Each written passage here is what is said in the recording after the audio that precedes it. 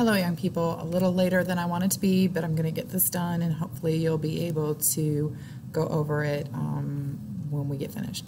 So we're going to be talking about the ideal gas law. Now, the ideal gas law is really interesting because we have some assumptions that we make about an ideal gas. Now, we were talking about this earlier about the difference between an ideal gas and a real gas, and we're about to get some answers. So this is a model of how we would like gases to behave. It's obviously not perfect, but it kind of does give us a pretty good assumption about what's going to happen with gases. So the first thing that we assume is that the volume of individual particles is negligible. It's assumed to be zero, so each particle has no volume. That's not really true. But in an ideal situation, we don't worry about the volume of each individual particle. We only worry about the volume of all the particles together. Particles are always in constant motion, and the collision of those particles are what's causing the pressure exerted by the gas. So we're assuming that particles are always moving and that the pressure is assumed by that. Particles are assuming, assumed to exert no force on each other, so we're not uh, accounting for any of the collisions that they might have with each other. We're only counting the collisions that they have with the container. Okay, fourth thing is the average kinetic energy is assumed to be directly proportional to the Kelvin temperature. So we're assuming the amount of energy that these things contain is proportional to the Kelvin temperature. These all assumptions come in to give us the basis of the ideal gas or the ideal gas law. Real gases do have finite volumes. That means we can't just assume that they have infinite volumes. It doesn't really matter. Um, we know that they have finite volumes, and we do know they exert forces on each other. Um, we saw that with our syringes, our real versus our ideal gas. Um, so we know that intermolecular forces do kind of account for some things, but in a lot of situations, most gases behave ideally. We'll get more about this a little bit later, and it really has to do with the size of the gas more than anything. Um, but these are the assumptions that we make if we have an ideal gas. So if we're looking at Boyle's law from the perspective of an ideal gas, we know that P is equal to 1 over V, right? So if we add the idea that we're keeping constant number of moles, we're keeping constant temperature, then we get that. That's a pretty simple statement. So what do we know happens to pressure as volume decreases? Does this align with the assumption made by the kinetic molecular theory? Does it align with what we said? Well, we said that, you know, as volume decreases, the pressure should increase, right? And that makes sense because as I'm pushing those particles closer and closer together, they're going to be hitting the sides of the container more and more because I'm pushing them closer together. So that makes sense, right? So nRT is considered a constant. So in no-names law, some people call it no-names law, it's Gay-Lussac's law. Gay-Lussac's law says P is equal to NRV over T, where the number of moles and the volume are kept constant, and we're moving pressure and temperature. So what do we know? What happens to pressure as temperature increases? As temperature goes up, pressure goes up. So does this align with the kinetic molecular theory, what we were talking about before, this idea of an ideal gas? And we have to say, yeah, because as the temperature goes up, that means the average kinetic energy goes up. That means they're moving faster, colliding more with the um, with the sides of the container. So sure, that makes complete sense. So the idea that NRV, the part that is in that dark teal color, that's a constant. Okay, so we're looking at all of the laws that we just talked about from the perspective of this this kinetic molecular theory idea of an ideal gas. Okay. Next is Charles' law. Well, we know Charles' law relates uh, volume and temperature, and we know it's V divided by T. But if we put it in a formula, we know that V times some constant is equal to T. Now, if you look at this, this is also the equation of the line. So if we go back to all of these situations, I'm gonna, I'm gonna go back for just a second. If we go back to Boyle's law, this is the equation that we would get from the line. And the constant is the slope of the line. It's a pretty simple process. Same thing here. This is the equation we would get from a line. And the constant is the slope of that line. So when we have a straight line equation, we can get a slope. So here we go. So NR over P, where P, the pressure is kept constant, the number of moles are kept constant, that's a constant. Does this happen? Do we understand that in the kinetic molecular theory that volume should get bigger if temperature gets bigger? Well, yeah. Um, more motion if the container is flexible, then we should be able to do that because the container is flexible. That means the pressure is not going up. So the container has to get bigger in order to accommodate for those collisions that are going to be increasing. How do we keep pressure constant while we increase temperature?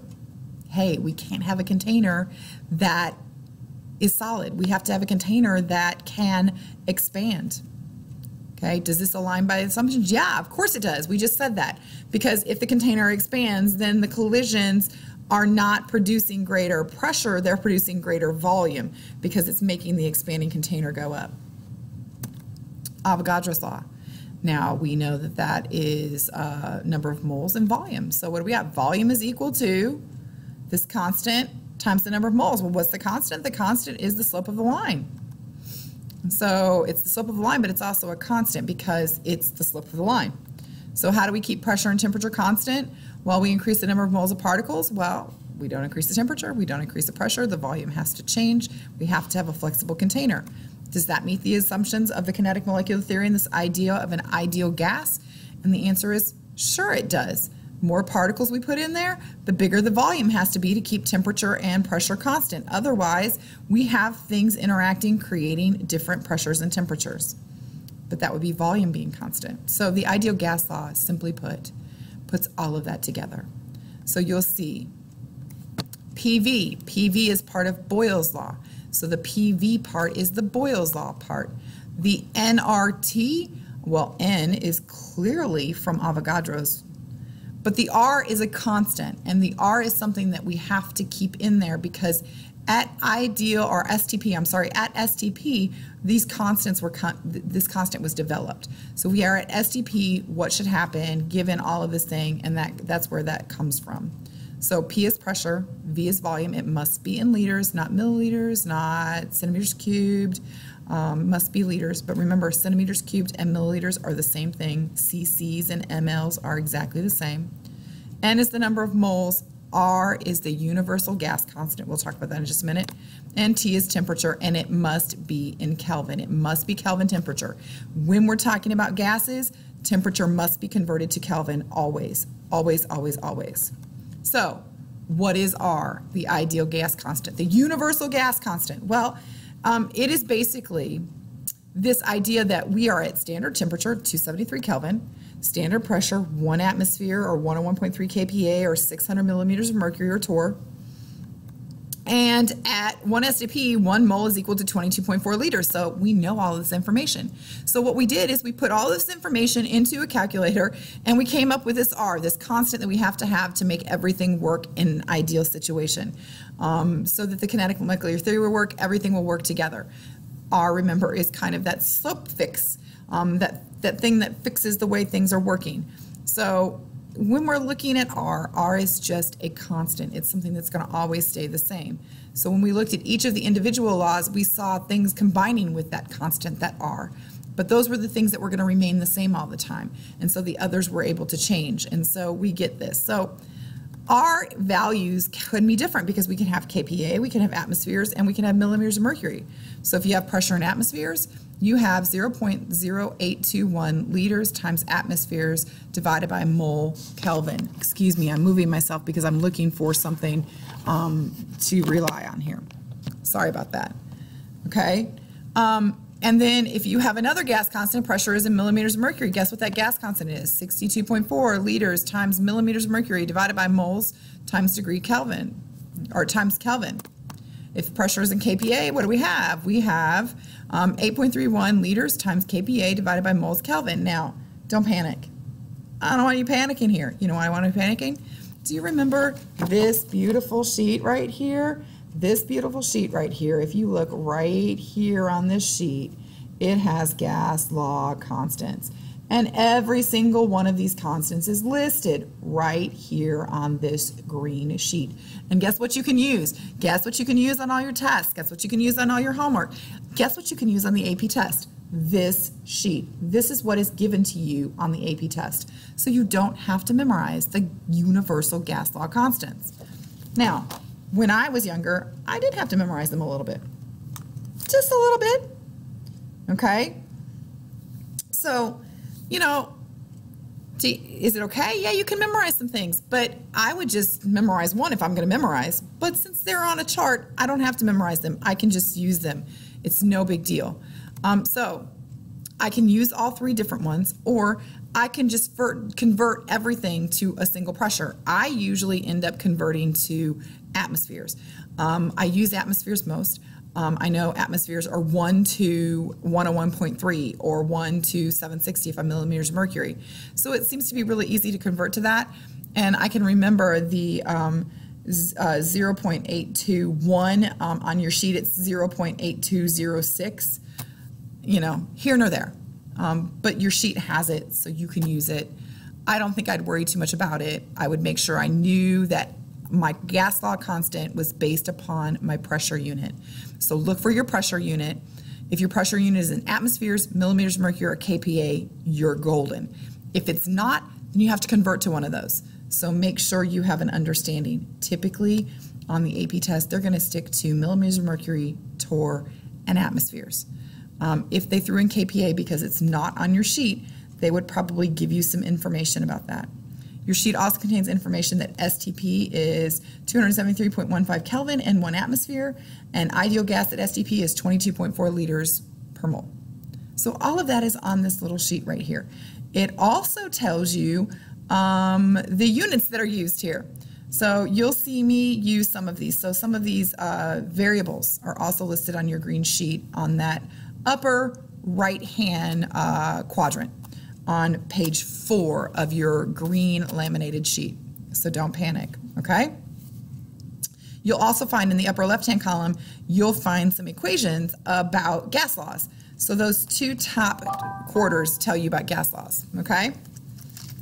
So no panicking. So PV equals nRT. This is our ideal gas law. So straight ideal gas law problems sprinkled all over the AP test. Another way just to get to moles, because remember, N is moles. That's what it means. And I probably should go back and fix that because the N is capitalized because the font that I'm using is doing that, but I'll take care of that in a minute. Um, so if I can get to moles, then I can use stoichiometry. So got moles, I'm going to do some stoichiometry, but that's in the next lecture. You don't have to panic about moles right now or doing any stoichiometry. The problems you're going to be doing in this, uh, this second problem set are simply ideal gas law problems, PV equals nRT problems, and variations of PV equals nRT problems that we could do. And you'll see all of that in just a minute. So got moles, do stoichiometry. That's, that's what we do. So we can throw gas law problems in anywhere. You can throw them in on the free response. You can throw them in anywhere because you can get to moles. If you can get to moles, then you can do some stoichiometry. If you can do some stoichiometry, you can find something else. So just remember, it's a pretty easy way to do that, okay? So sample problem one, let's look at sample problem one. Sample problem one says for an ideal gas, calculate the pressure of gas if a 0.215 moles occupies 30, 338 milliliters at 32 degrees Celsius. So the first thing we need to do, very first thing we need to do is, first of all, let's get a pen. Um, I'm going to be using my, pen, uh, my finger again because I still haven't gotten my little stylus yet because I don't know. Anyway, so the first thing I want to do is I want to change my temperature to Kelvin. So 273 plus 32 and that's 5, 0, carry the 1, that's 305 Kelvin. So now I've got Kelvin. Um, it doesn't really matter which one of these we use because we're looking for pressure. So we know PV is equal to nRT. So if we rearrange it a little bit, we know that P is equal to nRT over V. Okay, pretty simple so far. So we start plugging in. So we have 0.25 215 moles times R. Well, R is the gas constant. I'm just going to use 0821. And remember, oops, I don't know why that keeps doing that on my computer, but it does keep doing that, okay? So 0.0821 atmospheres, um, liters, moles, Kelvin times 305 Kelvin. Be careful on your calculator because you can mess up mess up these up. Make sure you're using parentheses here because you're multiplying and dividing multiple things. And if you don't, you will divide by one thing but not the other thing and multiply it and it gets a little complicated. So V, V right here, milliliters, so I got to change that to liters. That's 0.338 liters. Notice what happens here. Moles here, cancel out with moles there. Liters here, cancel out with liters here. Kelvin here cancels out with Kelvin here. What am I left with? I'm left with atmosphere. So my unit is going to be ATM. That's a pressure unit. That's good.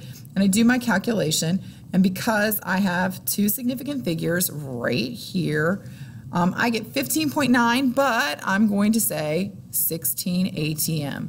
That's what my answer is right there. Okay, pretty simple. All right, let's go on to the next one, see if we can solve it. Problem number two.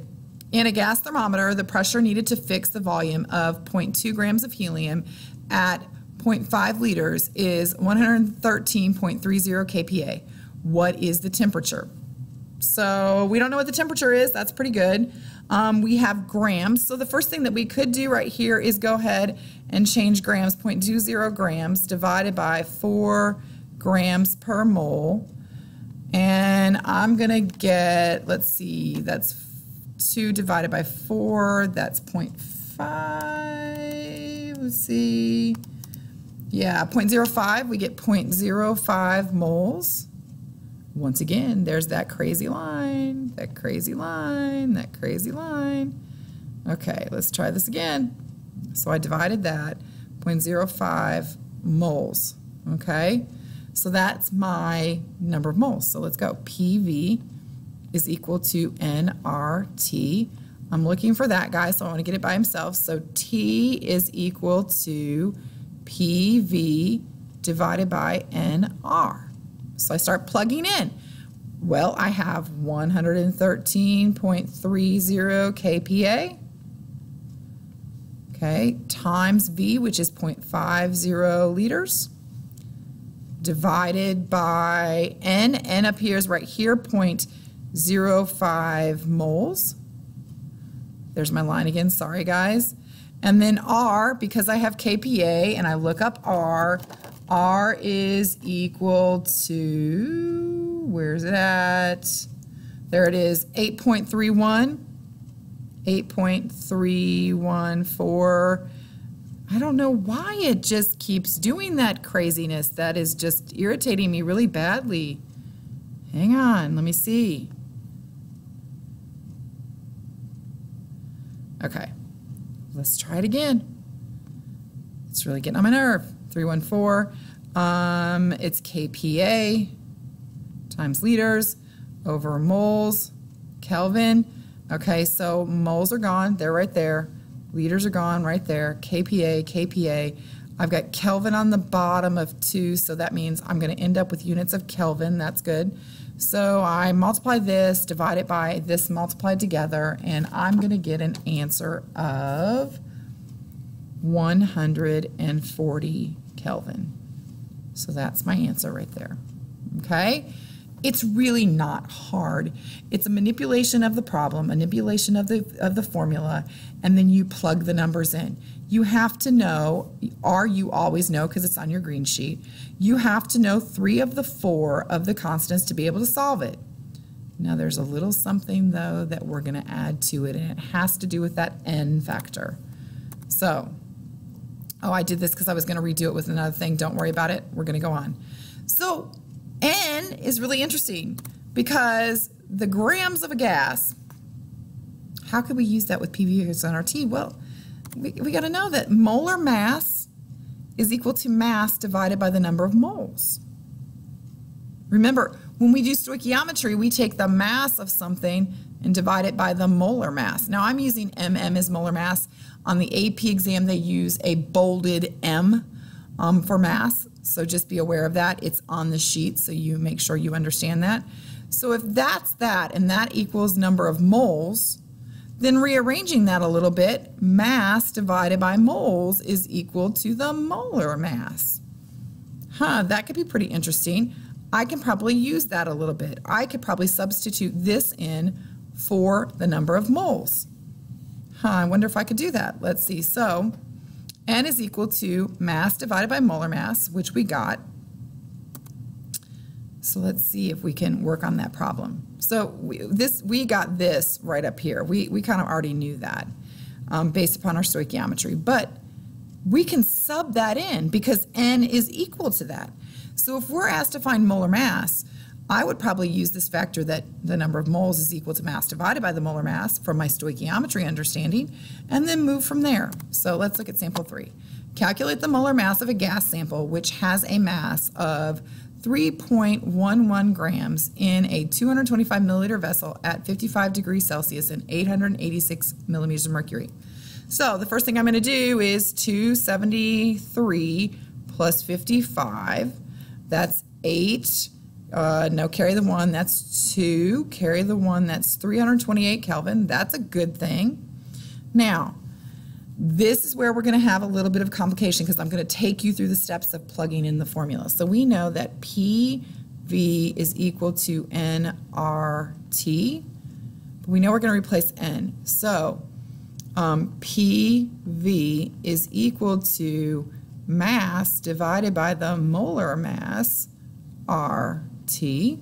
What am I solving for? I'm solving for the molar mass. So this needs to go at to the top. Oh, silly line again. Okay, silly line because I had to put a line over the T. So molar mass is what we're trying to get on the top. So I'm going to move molar mass here because I'm going to multiply both sides by the molar mass. So I'm going to get molar mass times PV is equal to MRT, M meaning the mass. So now molar mass by itself, that means PV have to come over here. So I'm going to get that the molar mass is equal to mass RT divided by PV. It's just a manipulation of the same equation. All I did was I changed N for this. I exchanged those two things. So I just put an equ equ equalization there. So let's go to the next slide here because, oops, nope, let's not go to the next slide. I thought I had another one of those in there. So I'm going to start plugging in. What am I going to plug in? It's pretty simple. Um, I'm going to put 0.311 grams. That's the mass. R, I've got millimeters of mercury, so I'm going to be using 62.4 millimeters of mercury times liters over moles times Kelvin, right? T, I have 328 Kelvin, 328 K, okay, divided by P is 886 millimeters of mercury, okay. Sorry, you can't see the 8 there. And then the volume, I've got to change that to liters, so 0.225 liters. Liters, okay. So let's look at our units. Millimeters of mercury there, cancel out. Liters, cancel out. Kelvin, cancel out. What's left? Grams over moles. Hey, that's the unit of molar mass, grams per mole, right? So we do all our calculations and we end up, because we have two sig figs right here, we end up with 32 grams per mole. Relatively simple when you think about it. The complication is subbing, subbing it in, okay? You guys can do it though, it's not a big deal. So manipulation of the ideal gas law, another one. How can we manipulate the ideal gas law? So here we go, PV equals nRT, right? So if N is equal to this, so that PV is equal to mass times molar mass times RT. Hey, that looks pretty good. I think that, that we already did that. So sample, oh, I forgot to do something. Something's not kosher. We already did this problem. Sorry about that. Okay. So I got I had it a little out of order. So I meant to show you this this thing first so you could get there. Okay. Um, so make sure you look at that again. Stop the stop the video and look at that and make sure you understand that. Okay. Okay. Manipulation of gas laws number two. So here we go. This is what we know. I'm just using shorter letters, okay? No big deal. I'm not using mass N, molar mass. I'm just using M and MM. Okay, so we've got that. So if mm times PV, so I'm solving for mm again, so we see what we did, and mm is equal to m times r times t divided by p times v, which we know, we got that from our other equation, and density is equal to mass times volume divided by volume. Hang on, hang on. So if I take these two components and put them together, look what I get. I get density. Once again, crazy lines. I don't need crazy lines. Just do what I'm asking you to do, machine. Okay, so I get density. So what am I going to do? I'm going to sub m, m over v for d. And I'm going to get this equation. Molar mass is equal to density times R times T over P. And all I'm doing is using the number of moles and what I know about the number of moles, uh, mass divided by the molar mass. Mass divided by volume is density and solving for that. So let's look at a problem like that. So the density of a gas was measured at 1.5 atmospheres and 27 degrees Celsius and found to be 1.95 grams per liter. Calculate the molar mass. Okay, so the first thing, remember, I've got to do 273 plus 27 Let's see, that's 10, carry the 1, that's another 10, carry the 1, that's 300 Kelvin. Okay, so we've got that. Let's go back for just a second to our problem here. Here's our equation, right? We just developed that equation. And the equation came from right here where this is equal to the number of moles, N, right? So let's use that. So we know that M, M is equal to D times R times T over P. Okay, so plug it in. Density 1.95 grams per liter. R, it's in atmospheres, so we're going to put, use the 0.0821 atmospheres, liters, moles, Kelvin, I'm sorry, moles. It's not doing it very easily. Kelvin times, and I'm going to squeeze it in, times 300. Okay, okay. Divide all of that by P. P is right there, 1.50 ATM. So atmospheres are going away, K is going away, liters are going away, and I'm left with grams per mole. Hey, that's my molar mass again, right? And when I calculate that, I get 32 grams per mole. There's my answer. Okay, so it's just a manipulation of the ideal gas law, and it will do this. It can do this. As a matter of fact, um, the molar mass idea is going to come up because in our next lab that we're going to be doing, we're going to be calculating molar mass um, from this information. So you need to be thinking about what do I need to know in order to find the molar mass from the ideal gas law. Okay, thank you very much. Appreciate it. Sorry, this is a little long today.